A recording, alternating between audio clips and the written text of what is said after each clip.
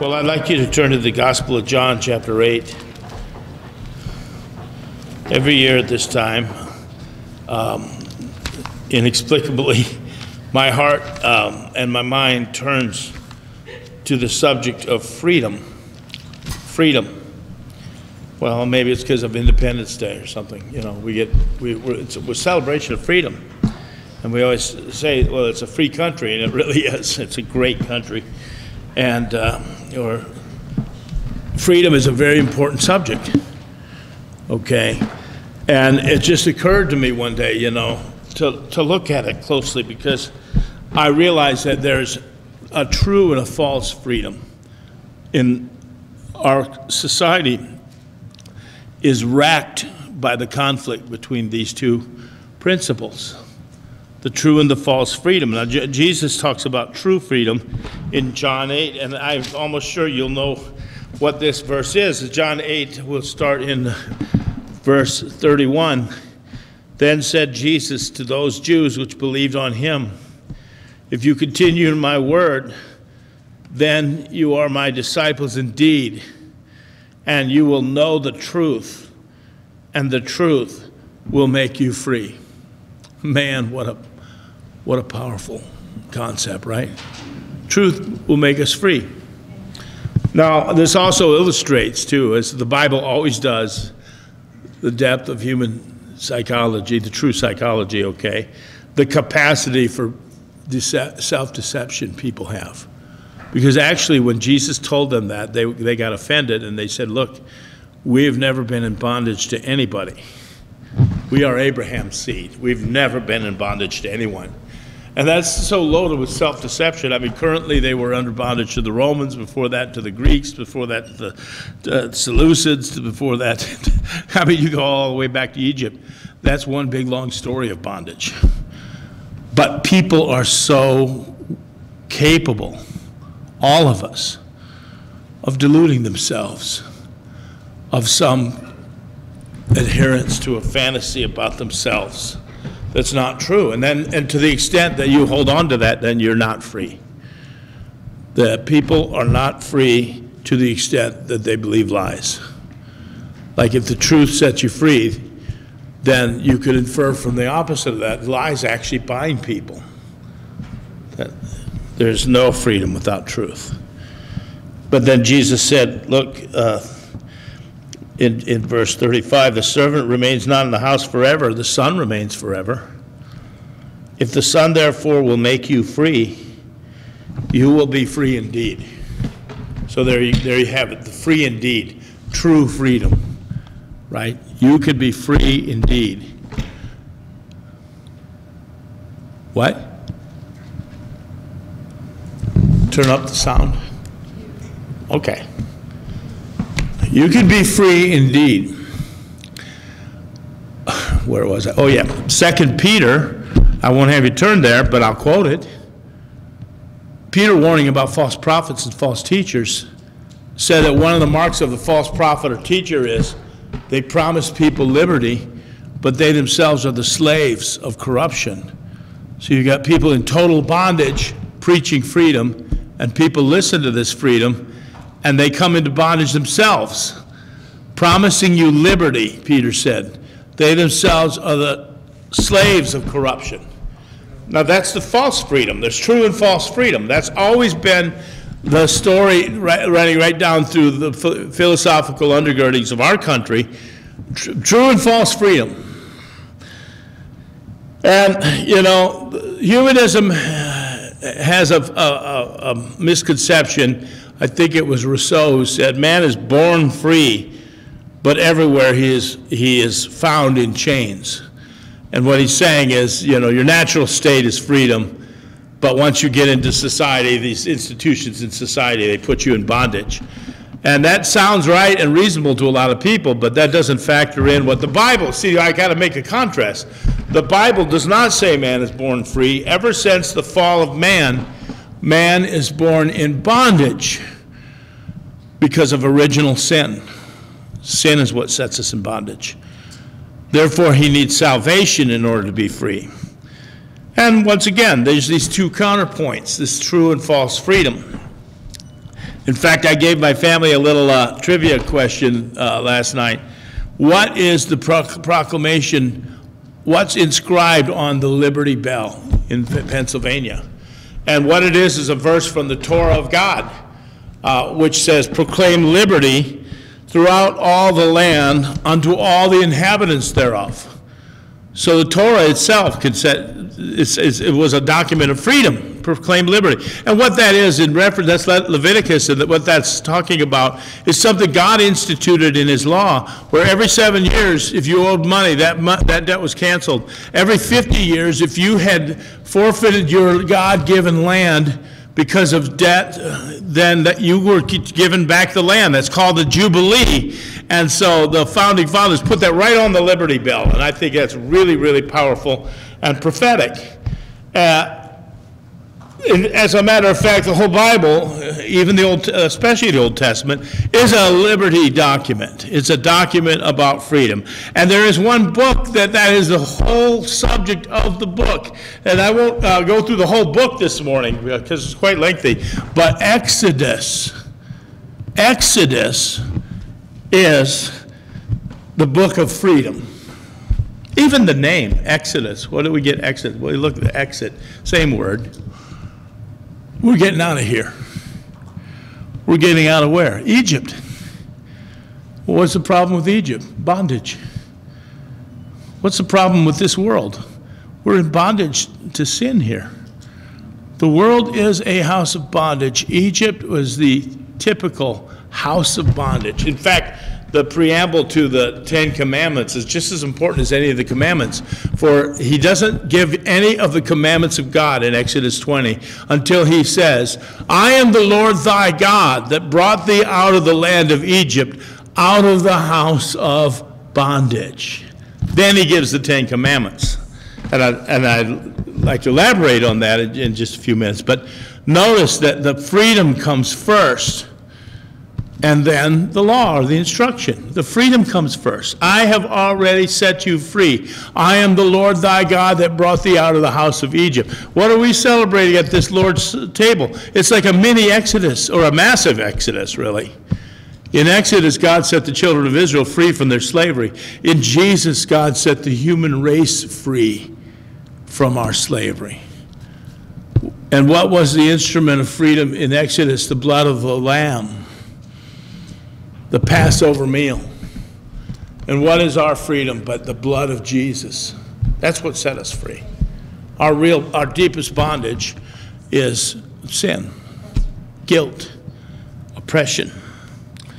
But Exodus is the book of freedom, and even the name itself, Exodus, exit, where you go out, you get to come out from bondage. You get to come out. Now, look, the truth is, every man is on an Exodus. Well, every man should be, anyway. Every man can be on an exodus. Now, some people are on a trek in deeper, but others can take the option of getting out. I want out of here. Okay, that's Exodus.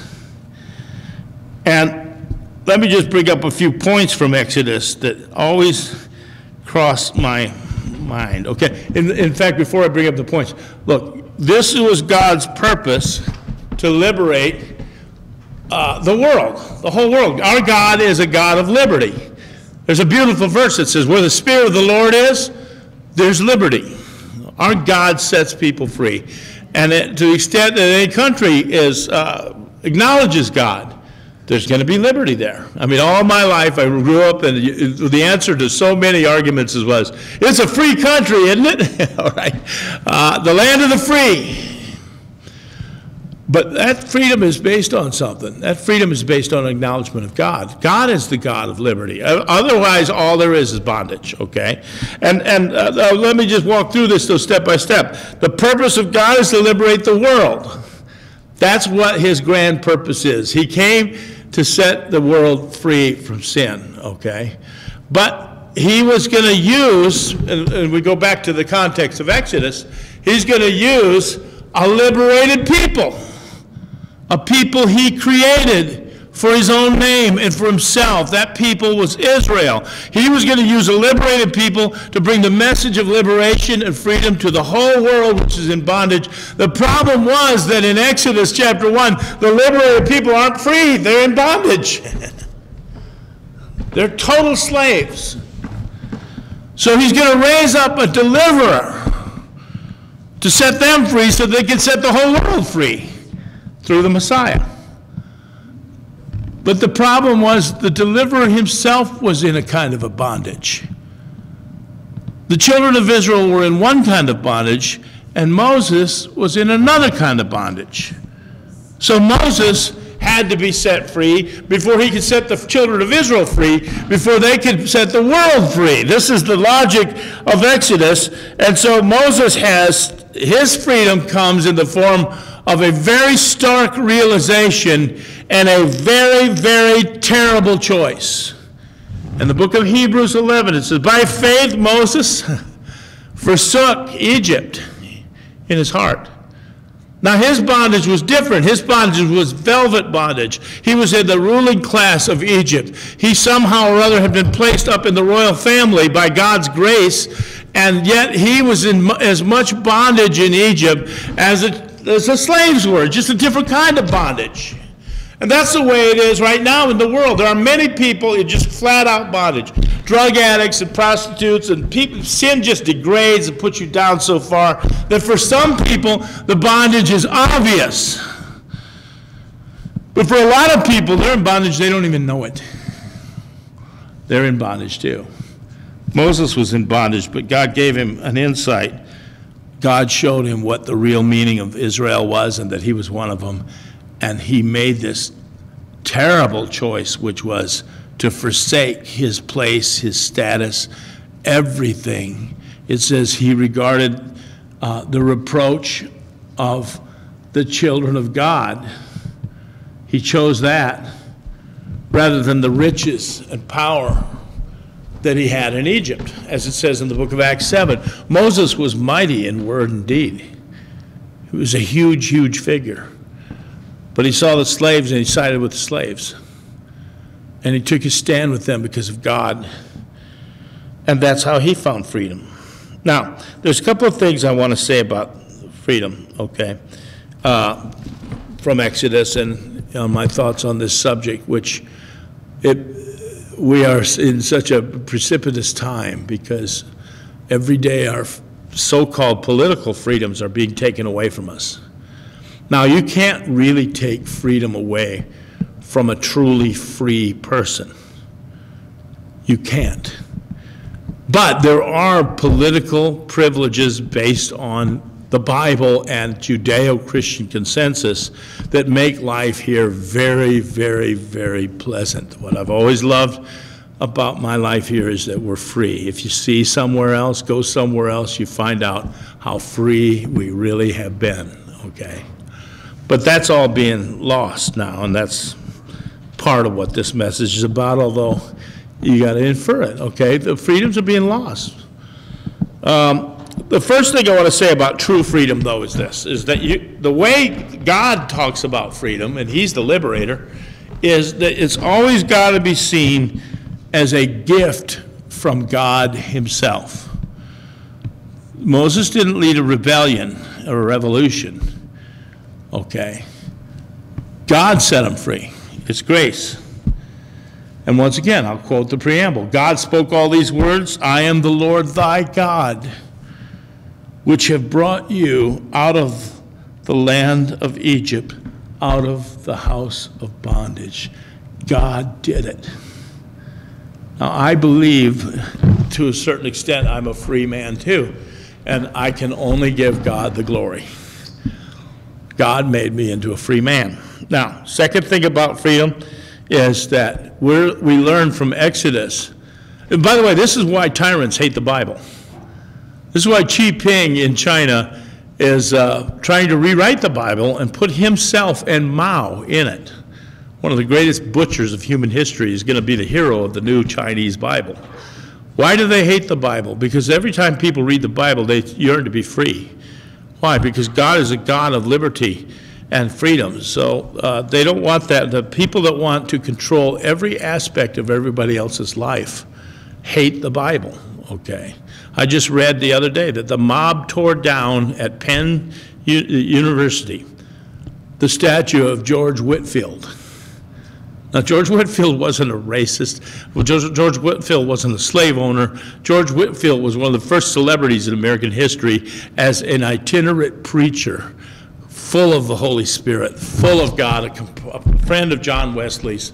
And somehow instinctively, the spirit that animates these mobs is now going for people like, you know, that are spiritually significant. So they tore him down. Okay, so anyway, free, no, the second point about freedom. Freedom cannot be an end in itself. Now you know this verse, okay? Let my people go. But how many you know that that's not where the verse ends? Let my people go that they may worship me. Exodus chapter 10. Let my people go that they may worship me. Now look, uh, freedom cannot be an end in itself. Freedom to what? I remember when I was a kid, all the all this popular music was like, people everywhere just want to be free, you know. But they, they never ask the question, free to what? Free to do what? Free to be what? Now, 40 years later, I mean, they seized their liberty from Judeo-Christian consensus, from marriage, from the old views of uh, modesty and morality. They're free, okay? They're free in the very similar way to the madman of Gadara was free. The Bible says no one could bind him. No one's going to tell me what to do he would just snap the chains. You couldn't, you couldn't put him in bondage because he, he was possessed by Satan, and Satan gave him a kind of obscene freedom. How free? Well, he's free of clothes, free of people, free of conventions, free of accountability. I mean, he just kept snapping off these chains. And where do you find him in the Gospel of Mark? Among the tombs.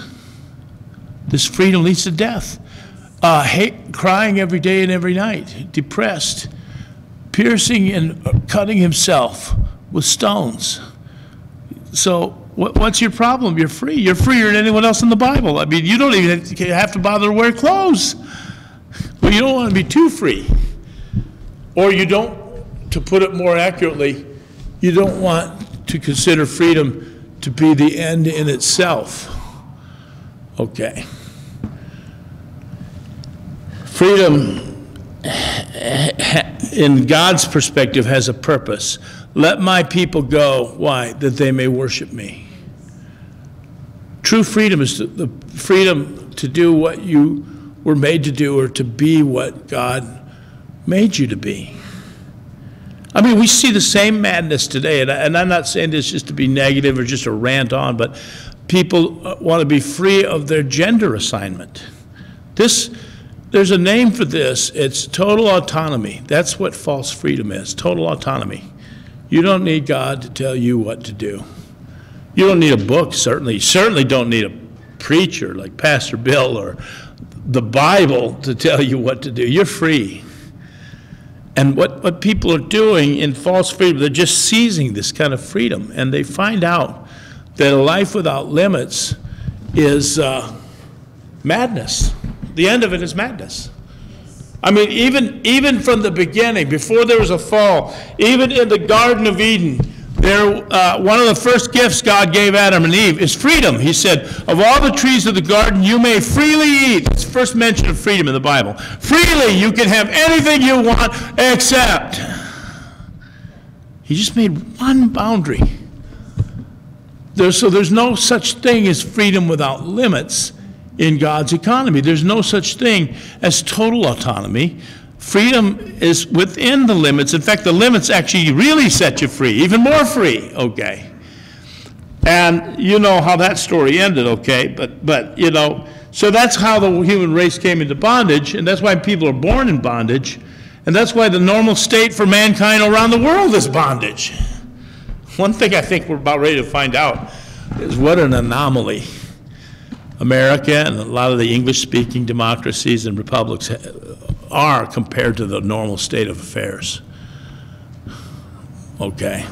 That's why people are trying to beat a path here. I'm not saying here is heaven, and I'm not saying here is perfect, far from it.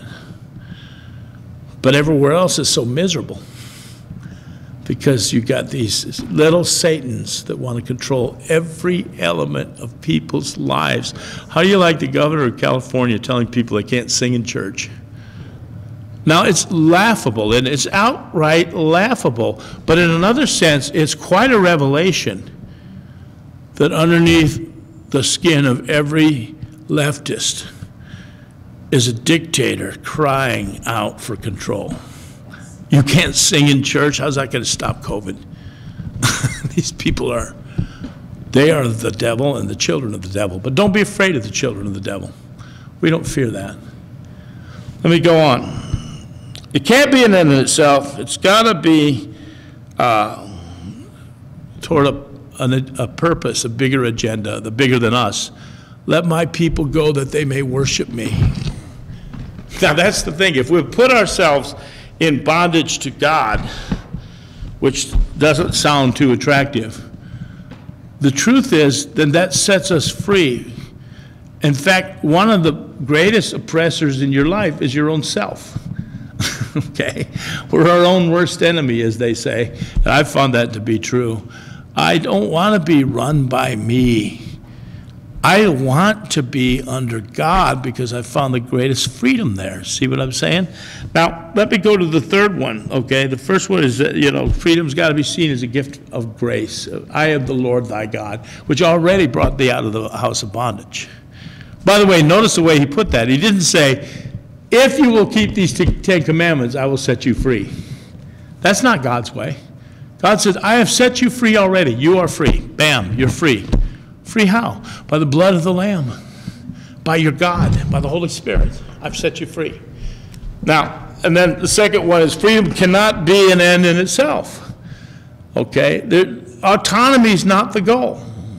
Now that's, that's why our society's gone mad, is they still maintain the concept of freedom, but they, for the most part, throw out God. So basically, the only freedom that they strive for ultimately is autonomy. Look, when you want to shed your own God-given sexual role, I don't know what, the, what chains are left to break. That's insane. Just like the madman of Gadara. And number three, now this is really important. Freedom has got to be internal. Freedom has got to be internal. Now, here's how I'll illustrate this. Uh, back to the Ten Commandments. I am the Lord thy God, which have brought thee out of the house of bondage. That's how he starts it. And then the next thing he gives is, You shall have no other gods before you, and you shall not take the name of the Lord your God in vain and you shall uh, you shall not make a graven image of the Lord your God, and you should worship God at least once a week, and you should honor your father and mother, and you should not kill. Okay, now let me illustrate another way to look at this rather than just a set of do's and don'ts. What is he really saying? He's saying, look, I have done it. I have set you free by the blood of the Lamb. And that's good news, right? Now what he's saying is, then do you want to stay free?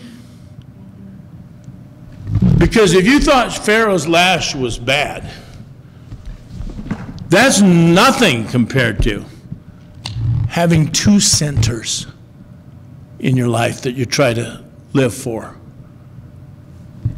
or just disregarding marriage and sleeping with anyone you want. That's bondage. Or just feeling free to hate people, diminish them, kill them in a thousand little ways, if not the big way. Now that person is in bondage. You see, this is what the deep teaching of the Ten Commandments is, is that it's not enough to be free politically, you have to be free internally. And one of the things about the Ten Commandments, I actually love the Ten Commandments. I know a lot of Christians have chided me for that. Don't love the Ten Commandments. That's bondage. That's law. That's a set of rules. God doesn't want a bunch of rule keepers. They don't get what it is, really. I love the Ten Commandments because it teaches us a lot about ourselves and the way that God actually created us. I call it the law of my being. I wasn't created to have two or three gods, only one. And therefore, I'm never going to function the way I should unless I get that straight. I wasn't created to be filled with covetousness and lust for something that I don't have. It's very powerful and very, very appealing, but all you're going to be is miserable if you don't get that figured out. I wasn't created to sit there and hold a grudge and hate somebody for whatever difference we have. Now, I could do it if I want, but why do I want that? That's bondage. In other words, there's a way to look at the Ten Commandments like this. This, if you invert it and look at it in a positive sense, this is the truly free man. This is the blessed man. Like it says, blessed is the man. This is what it looks like. The really free man has one God, only one God, the true and living God. That is the only center of his life. He doesn't have two or three or four, only one. The truly free man will not take the bait of unforgiveness and resentment. He's free. He doesn't want that. The truly free man loves his wife. Doesn't want someone else. Wants her. Or doesn't want sexual anarchy. That's bondage. That's bondage. Look, I'm going to tell you something. I really believe part of the reason the sexual revolution is promoted so heavily by the elites is because you can control people a lot easier if they're controlled already by their passions than a free, self-governed people, which is always a threat to tyrants. Aren't we thinking about tyrants on the 4th of July? Well, you could control people if you can reduce them to being creatures of lust or consumers that can't live without this and that and the other. Then you can really, the problem people always had with America is that the whole central idea was self-government. That I don't need some nanny telling me whether or not to blow off a firecracker, okay? I'm a mature, grown person with freedom inside. I don't need a nanny state. But nanny states are great for tyrants. They want to control people. And I believe that the controllers are already lining up. All right. Free, and back to my original third point, freedom has got to be internal. Now, this is crazy, but you know, a person gets a uh, car overheats, goes on the freeway, and uh, takes off the cap of his radiator, and it says, "Don't drink this." All right. You need to be told not to drink uh, antifreeze, right? Okay. So th that's a kind of a bondage. It's not giving you any credit for being an intelligent person. But, but what really puts people in bondage also is the misuse of, the, of their self and their being. The misuse of your sexuality, the misuse of your passions. It, it binds people. Okay? Remember what Jesus said the truth will make you free. The truth. And so it's, that's really the meaning of perversion is you twist the use of something God gave you that's valid. And you, you pervert it. And then the perverted are slaves. This, this, is one of the, this is one of the other books of the Bible, is Judges, that God set them free and gave them the promised land. You can have a great, great new start. Here is land that you did not clear. Here are farms you did not build. Here are fields. I'm just giving them to you. Last people were in total bondage to sin. They were irredeemable. They were so bad, I told you, just wipe them all out. But I'm giving you a brand new, fresh, clean state, slate. And when you read uh, Judges, you're so happy at first, like, good, I can't wait to see what they do with it.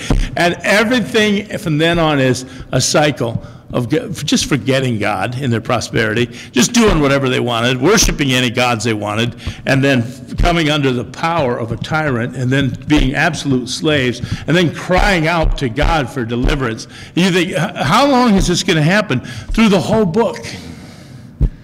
The last crisis is the worst of all. You know why? By the time they got to the Philistine crisis in the days of Samson, they just gave up crying out. You know what that means? They got used to bondage, and bondage was fine with them, I guess. I mean, as long as the Philistines let us live, let's just go along with it. That's the meaning, one of the meanings of the story of Samson. They just went with it. So the Samson caused a lot of trouble for them. They, the Jews themselves didn't like Samson. You know why? He caused trouble. They said, Look, we're fine in bondage to the Philistines. We're fine. I'm afraid that's what's happening to America. People are fine doing all this stuff, going along with all this stuff. Anyway, let me go on. Uh, another lesson that we can draw about freedom from Exodus, and I'm just picking and choosing here, that's, the whole thing is awesome, okay, is that you got to be free from the group morality. And I'm going to quote a very important verse in my view. It's been a, one of my guiding verses of my life, and that is Exodus 23 2. You shall not follow the multitude to do evil. Now, there's great pressure to follow the multitude, and that's why so many pastors and preachers and even some Christians, they're getting woke all of a sudden, and they're going along with the evil that's happening because they just can't resist the pressure to go along with evil. Well, they don't even want to recognize evil because then if you know it's evil, you have to take a stand, really, theoretically.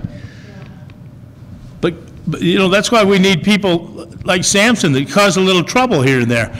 Because evil is evil. It's not a relative term. It is a very, very objective thing. It's evil. You shall not follow the multitude to do evil. Who is the truly, truly free man? The truly free man knows that what he has for freedom is a gift of God. The truly free man knows what freedom's for. I've been set free to worship God. I've been set free according to the laws of my being. How would you like it if someone got a, a really beautiful car and then said, you know, why do I have to put gas in it? Why not? Why can't I put maple syrup in it? Well, you just perverted the use of that carburetor. It's not, it doesn't run on that. That's what people are doing with their lives. We got something really, really beautiful. Oh, I'm not going to let that owner's manual tell me how to run it. I'm just going to do it myself. I'm free. And the really free man is internally free. In other words, even if he's in bondage. The great example of that is when Paul got put in prison. And late at night, he's praising God. That's the mark of a free man. He's, he's not bound by circumstances. In fact, how free was he? He was so free that when the earthquake came and opened the doors, he didn't leave. He didn't have to. He stayed right there. Why? Because he's really free. You can't bind. The Word of God cannot be bound. And you got to be free from the group morality. Now, one of the things that is a really powerful dynamic in modern society is that people believe that if they can persuade enough people of their cause, then that'll make it righteous. Okay. Like if you were going by that, you wouldn't think that we're righteous. We don't have that many people that we've persuaded. Try as we will. Of course, we're part of something way bigger than us the whole universal church. I believe in one Catholic church. I didn't say Roman. I believe we're part of something huge and timeless. But if you judge by worldly standards, I mean, what is this? Where is everybody? Yeah, well, I don't need everybody to know what truth is. I don't need it to be verified, signified, and honored by the crowd. You shall not follow the multitude to do evil. Another verse is very much like that, only from a different perspective, is Proverbs. Though hand join in hand, the wicked won't go unpunished. What's he saying? I don't care how many people go along with that. You think it's going to change God's mind? What God says is wicked is wicked. Where do you see the mark of the beast, which we might see? You know how much pressure there's going to be? Probably from confessing Christians, pastors. Hey, come on, let's grow up, huh? You still stuck back in the Chick tracts? Come on. it's going to be unbelievable. Final act of apostasy. And if you bow your knee or prostrate yourself on the street to a Marxist group like Black Lives Matter, I have no problem believing you just say, yeah, go ahead, do it. Let's just let's go along. This is I'm a mature Christian. now another one that I'm not going to have you go to uh, Exodus for this, but to Galatians 5. Would you go to Galatians chapter 5, verse 1? I think this is a really important concept. Um, Galatians 5 1. Now, there's an interesting thing, thing happened in the days of the founding of this country. And I, look, I've always been haunted by this because I could recognize, even though I don't really think that everything the guy that said it was right or he wasn't right, but it was Benjamin Franklin. He wasn't a man of God. But when he came out of the Constitutional Convention, Someone says, What did you do in there? What did you make in there? He said, I've made a republic. It, we've made a republic if you can keep it. In other words, he recognized something. The Bible actually teaches this that freedom's not a one time shot, it's an ongoing calling. Galatians chapter 5, verse 1 Stand fast, therefore in the liberty wherewith Christ hath made us free. And don't be entangled again with the yoke of bondage. This is the oldest story in the book. It's like Judges. They got set free, but they ended up in bondage. Freedom, you got to see it as something that must be maintained. Like the whole book of Galatians, I mean, by modern standards, I mean, they would wonder, what's your problem, Paul, you big troublemaker? because he went ballistic over what most people would consider a small thing. Uh, they were trying to, uh, there's certain factions in the church that were trying to bring the church in total compliance with Jewish law. And Paul recognized right away if they go if they go along with this, this will destroy the gospel. Okay, so he withstood Peter. He rebuked Peter in front of other people because of the principle of freedom. You've got to maintain freedom. You can't allow, now listen, don't allow anyone to put you in bondage. Okay, now I believe government has God given functions. There are very few of them, by the way. Very few functions of government. Punish the evildoers, reward the good, let people live a quiet, peaceable life in all godliness and honesty when the governor of California tells Christians not to sing in church, that's the time to get the biggest choir you can out in the parking lot and sing at the top of your lungs. Why? It's the principle. It's not rebellion, it's adherence to what Jesus told us to do. Jesus said, You shall not forsake the assembling of yourself together as the manner of some is. And I'm not going to let anyone, no government or anyone, stop me. I'd rather go to jail. I'd rather die. I hope that I will be faithful to the, those words. I'd rather die than deny Christ. Okay. I'd rather die than break these principles. Paul said, Look, you've got to stand fast in the liberty. Jesus Christ went to a great, look at that table. Jesus died to set us free, to give us the ability to have a conscience, to worship God, to not be controlled by the, the, the terrible bondage of the fear of man. So I'm not going to deny that. I'm not going to just forsake that. Jesus died to set us free, so he says, Stand fast, therefore, in the liberty wherewith Christ hath made us free. I'm not going to let people put me under uh, legalistic works righteousness. I remember I was going, when I was saved, I was going to an Assembly of God church, and It was a great church. I love that church. To this day, I'm grateful to them, okay?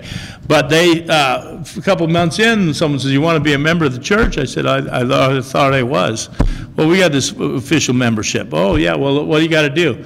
They said, all you got to do is agree to these things. They gave me a piece of paper with a list. The first one says, I will not go to a movie theater. I said, nope, skip it. Even if I didn't want to go to a movie theater, I'd still skip it. Why? Because the principle's wrong. I thought membership in the church was called being born again. Here you you know, a lot of unborn again people can sign that. Yeah, I like a good strict church like this, man. It makes me feel really holy and righteous. Sure, I'll sign. You could get unborn again people to be members of a church and exclude born again people. You want that? That's why we don't have a membership of the church. You must be born again. Jesus has a membership of the church. We don't give a list of do's and don'ts. So it's the principle. You see what I'm saying? It's the principle of freedom. Now, in closing, I want to say, you know, be careful of the false freedom. Now, a lot of stuff that's going on in the world in the last hundred years, and with increasing velocity, bless you, is liberation movements. Have you ever thought about it? Liberation movements. See, in, in true freedom, freedom is a gift from God. False freedom, you have to have a revolution and seize it. And those always become like so bound by the end. They look like hell. French Revolution, hell. Lenin says, huh, people getting killed while they're trying to set themselves free from the czars. Someone talked to Lenin about it. He said, Well, you got to break a few eggs to make an omelet. Stalin, hey, Stalin, there's a million people you've killed. Well, when one person dies, it's a tragedy. When a million die, it's just a st- statistic. Now, by the way, this is the spirit working in America right now. Leftism is evil, just plain evil. A lot of people think I, I'm political. I'm not talking about Demo- the Democratic Party or the Republican Party. There's enough leftists in both that I'm talking about the philosophy. It is a false religion offering a false freedom, and it's really coming to a head. You got to remember, you know, Psalm 2 warned in the last days that the kings of the earth and their rulers would have a liberation movement. They'll say, when they take their counsel against the Lord and his Christ, they'll say, let's get rid of his cords. Let's get rid of his bondage. Okay, the Supreme Court is, that they're about as elite as anyone, and they're saying, oh, we could, you got why should marriage be be between a man and a woman? Just throw that out. Well, what is that? That's the cords of the Lord and his Christ. Oh, you know, abortion, I mean, person's not a person until they're out there viable. What are they throwing out? The religion of God and Christ. In the name of liberation, promising them liberty, they become slaves of corruption. No, sexual liberation never set anyone free. It's created so much misery, it's hard to fathom. Feminism only hurts women worse than anyone. This is not freedom. They don't see freedom as a gift of God, they just take it. And it's not autonomy. Freedom's not autonomy. You know, freedom doesn't mean you just go do whatever you want. Freedom is for a purpose. Let my people go that they may worship me. And that's one of the things, every time I've been in a, you know, with a group of people praying, usually when someone says, oh, God, thank you, we live in a free country where we can worship God. And I'm thinking, right on, that's it, that's what it's all about. Freedom to be a Christian, freedom to be who you were made to be. Freedom from tyrants. How about the biggest tyrant of all, self? How about getting set free of that tyrant? He's the worst. I think someone said to Martin Luther one time, You know, the Pope's after you. He says, I'm not as much afraid of him as I'm afraid of the Pope in my heart. He's the one that's messing up my life. Truly free, truly free. Freedom from covetousness, freedom from lust, freedom from hate. There's the There's the free person. How does Jesus free us from hate? Well, when you realize what the cross is, that he actually came and died for our sins, how could you hold anything against anybody? How can you do it? Hate is bondage. Freedom uh, can only last as long as people acknowledge God. And I think even some of the founders said that. This Constitution was made for a virtuous people. Won't work for anybody else. It's not. It's the Constitution's breaking down. One thing to remember in closing, Constitution's not the Bible. Constitution is a brilliant, beautiful political doctrine, but it's not the Bible. Therefore, the promise does not endure to the Constitution that says, Heaven and earth shall pass away, but not one word of my law shall pass away. That is true of the Bible. The Bible will never pass away. Constitution is probably virtually, for all practical purposes, basically over. Bill of Rights, they're just, they're working on them. They're working on them. You can't say anything you want in public. Shoot, with the, with the uh, technology giants controlling the public discourse, half the conversation just gets censored. Who would think that? I used to think it'd be like, oh, some oppressive government like 1984. Who knew it was going to be the billionaires of the tech world totally controlling? But you know, one of the most oppressive countries on earth is China, but it's full of free people. There's people all over China. There are more Christians in China than there are here.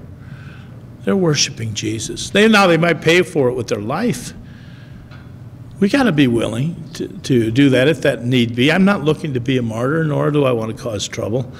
But there's one thing I would fear worse, and I don't want to deny Christ in the day of trial. Because the ultimate, total freedom, Jesus said, Don't be afraid of him who can hurt the body.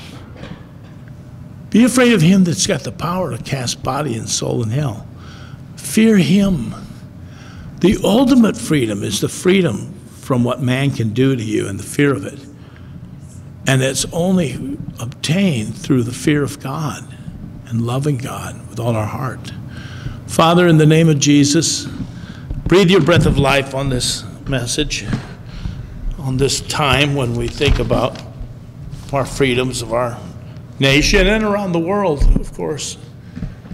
Oh, bless us, Lord. Let us be worthy of the calling that you put on us.